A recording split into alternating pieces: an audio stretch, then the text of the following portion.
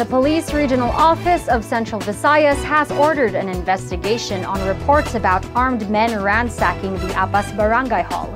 Here's Justin Vestil for the details. The Police Regional Office Central Visayas has ordered an investigation on reports about 10 armed men ransacking the Apas Barangay Hall in Cebu City. PRO Central Visayas Director Debold Sinas said they are currently tracing CCTV footages within the area. In their initial investigation, Sinas revealed that the armed men were going after money.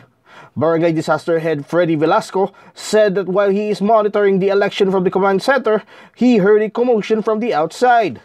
Five armed men went inside the barangay hall and immediately looked for the money.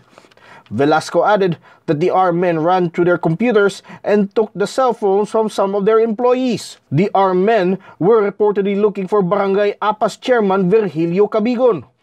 A village watchman was hurt during the incident and he was immediately brought to the hospital.